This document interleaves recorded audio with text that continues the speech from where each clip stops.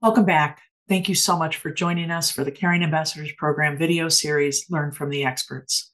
We're excited to welcome back Misha Ruth Cohen, a doctor of Oriental medicine and a licensed acupuncturist, and the clinical director of Chicken Soup Chinese Medicine in San Francisco, California, as our featured author in this video, Integrative Medicine, Complementary Therapies, and Chinese Medicine in Lung Cancer. In this session, Misha will be discussing a couple of common questions people have faced when diagnosed with lung cancer. I'm Lorren Sandt, the Executive Director of the Caring Ambassadors Program, and I'm joined today by Cindy Langhorne Hatfield, our Lung Cancer Program Director, and a panel of people living with lung cancer and their caregivers. We hope that this video will provide helpful insights and information for patients and caregivers dealing with lung cancer. If you're interested in learning more about the Caring Ambassadors program and our mission to help patients with lung cancer, please watch the video series. Please share this information with anyone who might find it useful. Together, we can make a difference in the lives of those affected by lung cancer. Welcome back, Misha. Thank you, Lorren. Sometimes people come in and ask the question, or most people ask, how often am I going to get treated? Because they need to be able to determine their ability to come in, whether it's physical or financial, they live in a different part of the country or they live far away. They want to know how often do I need to come in to see you and can I go see another practitioner at the same time, etc.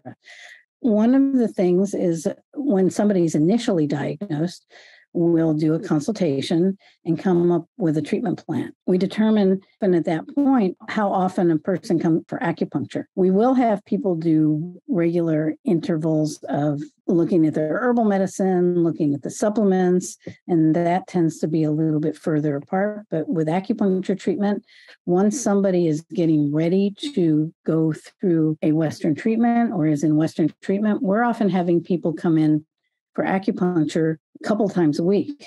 We do recommend that during their chemo cycles that they are able to come in the day before and day after their chemotherapy. Sometimes people are getting treatment every week in the Western clinic. Sometimes it's every three or four weeks. And we definitely want that week to be the week where they're coming in more often. That would be how we would do it in our clinic. Other clinics may have different priorities or different ways of doing it. However, I have found that to be very successful in terms of ameliorating the side effect, you know, helping people have energy levels that are stronger, being able to deal with neuropathy early on in the process. And sometimes people cannot get into our clinic regularly. So we are able to recommend other practitioners or they find another practitioner someplace that's close to them and we can help guide their treatments. One of the things is we want to make sure that a person is getting the correct treatments also, as well as the number of treatments in terms of acupuncture. Another thing that may happen is a person who's been diagnosed with cancer will come to our clinic and say, I don't want to go through any Western treatment. I want to be treated by you first place in our country, practitioners of non Western medicine are not legally allowed to treat cancer in people. That would be something that is across the board important for people to understand the legal ramifications. But secondly, I would not treat somebody alone. It's a little bit complicated because it depends on where in the course of cancer diagnosis and treatment a person might be.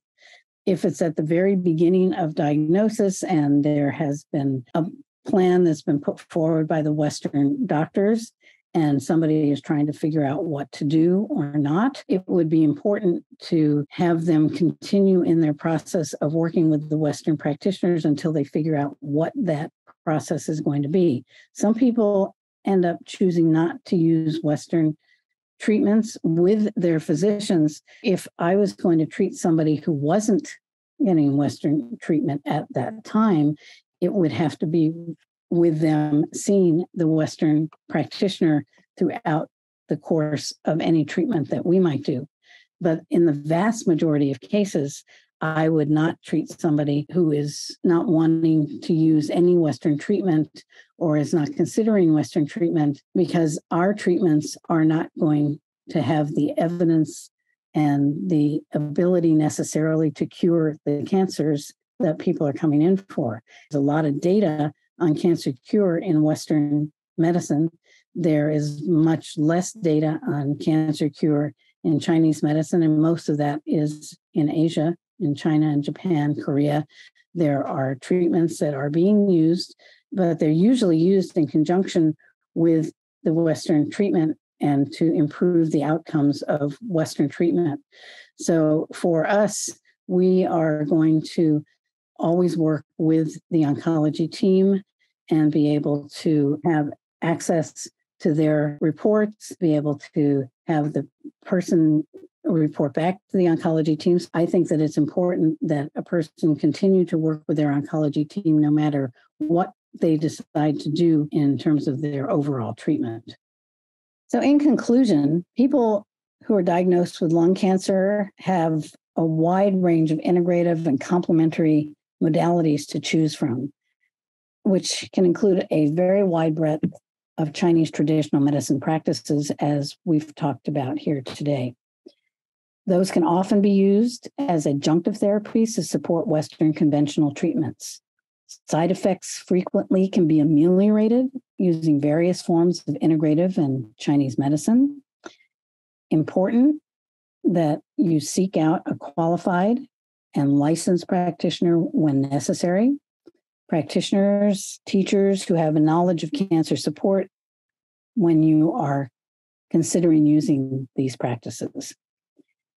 Also, very important is that it's important to discuss and confirm any therapies that you might be considering with your Western conventional team. I hope that all of you have the best support and have the best ability to be able to manage your care, manage your treatments, manage your life, manage your spirit, and that you have the best of mind, body, spirit going forward into the future. Thanks for being here.